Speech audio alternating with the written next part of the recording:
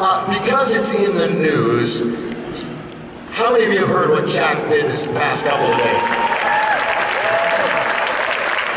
Uh, can you describe it better than I can, succinctly, what happened the last couple days with the police uh, down in Gainesville, Florida, in the pickup basketball? Well, I was at work because I'm an undercover detective. You just blew my cover. no, seriously, I was at work and my chief called me and he said, I want you to look at this video. And the video was awesome. And I actually liked the way the, the officer handled the kids.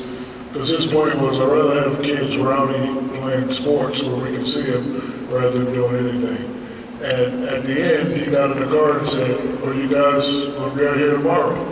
Kid said yes, and then he said, Well, I'm going to bring backup. At that point, my chief said, I need you to stop working today, out to Gainesville, and go play with the kids.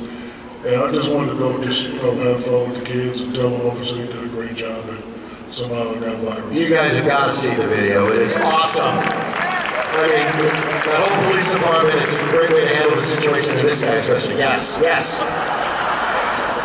I'm not a basketball player today. what are you doing? Escort this kid out of here. I got you. I'll take care of you. Did you not see Scary Movie? Okay, thank you.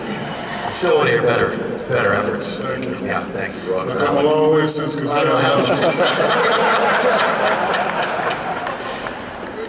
Well, I, you know, I, I want to delve into uh, you growing up a little bit. Were you ever little? Was what was little Shaq like? What was little Shaquille O'Neal like? Rambunctious, I precocious? What don't, I, like? don't, I don't really remember being little, but I remember I remember I started playing basketball at 10. And I was, of course, I was bigger than everybody. And I can remember one parent on the opposing team just dragging his son out. I was like, no way that kid is 10. If this kid is 10, he's going to be the best big man ever to play basketball because I was blocking shots and all the rebounds. It's like, no way he's 10. I want to see his ID. So I don't really remember being little.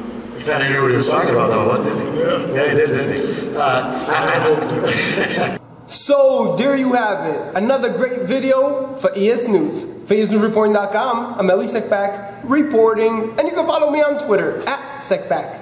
And you can follow me on Instagram at Elie Seckbach. Take a step back. Take a step back.